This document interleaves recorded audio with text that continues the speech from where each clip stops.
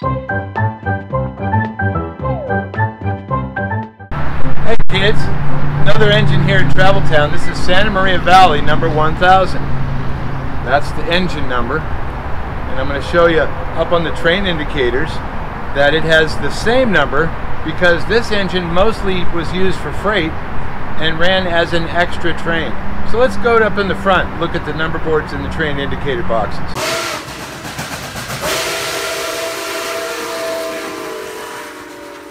Okay, so here we are at the front of the engine 1000, the Santa Maria Valley 1000. In the train indicator box on this one, it has X1000 because this would have been running as an extra train that didn't have a specific train number. So they ran as extra engine 1000. That way it wasn't on any timetable, it ran when it ran. Fun fact.